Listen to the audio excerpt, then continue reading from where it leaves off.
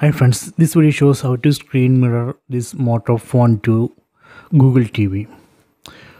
First we need to connect both mobile phone and TV to same Wi-Fi network. So here in TV let me go to settings then go to network and internet and here we can see this TV is connected to Wi-Fi network FTTH DAA1 so let me go to mobile phone and open this settings app. Tap on the settings app icon. Then tap on network and internet.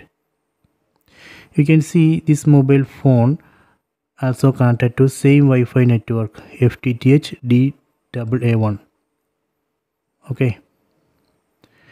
Then in TV let me go to settings. Again go to settings and select system. Then go down and select cast.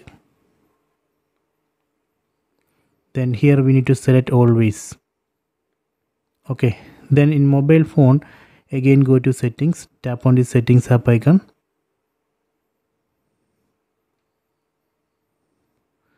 Then tap on connected devices then tap on connection preferences then tap on cast. You can see it has displayed the name of the TV tap on TV name then tap on start now. Okay done. So this way we can do the screen mirroring if you want to uh, watch video in full screen in TV then you can enable screen rotation in mobile phone then just rotate the phone.